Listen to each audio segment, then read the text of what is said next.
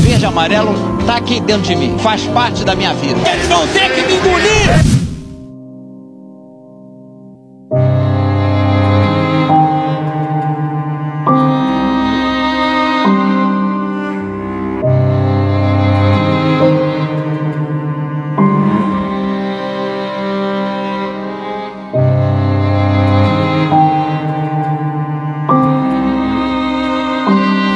Sou um predestinado.